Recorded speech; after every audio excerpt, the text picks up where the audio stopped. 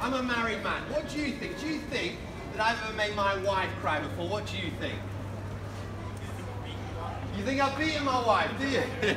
You're teasing me. I haven't actually beaten my wife, but I have made her cry before. You see these lips? Do you think these lips have ever said bad words, hateful words before? What do you think? They have actually, yeah. You see these eyes? Imagine everything I've seen in my life went on this window here. Do you think I'd be ashamed of anything I've ever seen before? What do you think? Yeah, everyone would, you're right. But then ask me this question. What's your name, sorry? You Stu? Chichu. Chichu, I, yeah. Thank you. Yeah, I, I've done wrong. But let me tell you this. There are two types of people that get to heaven. Perfect people and forgiven people.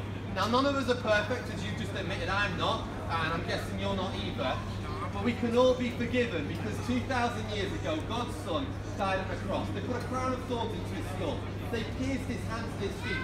He died there on that cross, taking the sins of the world so that you and I can be forgiven. So if we come to him, just like a gift at Christmas, it's free, we can receive this gift of salvation and know that our sins are forgiven. Do you know what happened to Jesus after he died on the third day? You're right, he did. He rose from the dead. And that's why he is the only one who can promise that he can forgive our sins. That's why he's the only one who can say, I can give you a home in heaven. And my question to you and my friend here is, do you know if you're going to heaven when you die? Have you put your trust in him? Let me just uh, put one final challenge out to anyone now. If you listen, what would you think of me now if I said Harry Potter's a terrible book? What would you do if I said Harry Potter is the worst book in the world? What would you think of me? I'd laugh at you. You'd laugh at me. What if I said Harry Potter is a terrible book, but I've never read it before? Then you're a sausage. You're a sausage, are you? Okay, well, you'd say read it first and then make a judgment. Now, I'll give anyone a portion of the Bible for free. Is all you've got to do is take it from my hand. Read it first and see, does it make sense? Just take it from my hand. If you're not too embarrassed to take it from a street preacher with ginger beard today at Christmas time, take it. Yeah, would you like one little? Yeah, don't be a sausage, read that, okay?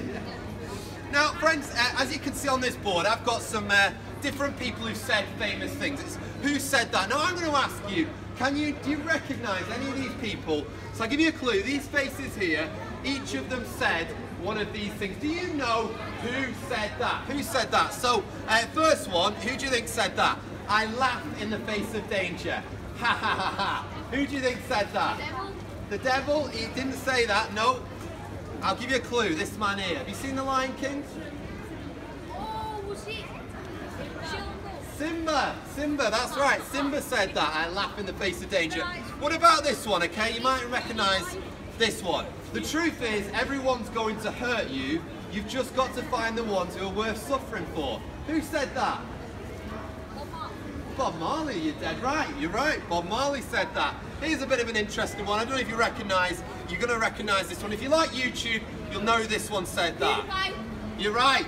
Be nice to people. Maybe one day they'll be rich. Because PewDiePie, when he was young, he got bullied. Be nice to people. One day they'll be rich. Okay, last one. This is for everyone in Yorkshire. I'm asking you, can you guess who said that? I wonder what the people of Yorkshire think of this person. If you want something said, ask a man. If you want something done, ask a woman. Who said that? Why?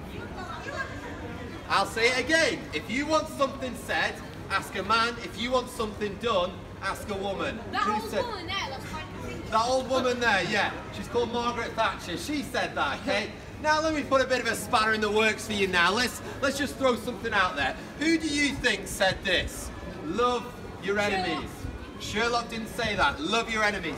Now let me put a challenge to you. Imagine if all the people in Iraq, imagine if all the people in Afghanistan, in Iran, in America, in North Korea, if everyone took these words, love your enemies, would there be any wars anymore? What do you think?